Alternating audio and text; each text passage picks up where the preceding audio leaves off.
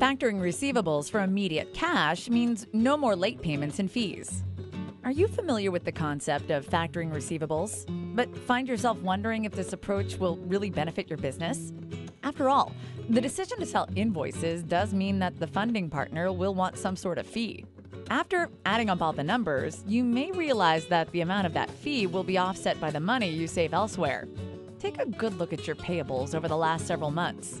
Consider how you had to juggle some of those pending payments while you waited for your customers to remit payments on outstanding invoices. How many of your debts incurred late fees and penalties because you had to delay payments by a week or more? When you begin to tally those amounts, you may be surprised at how much you're paying in the way of late fees.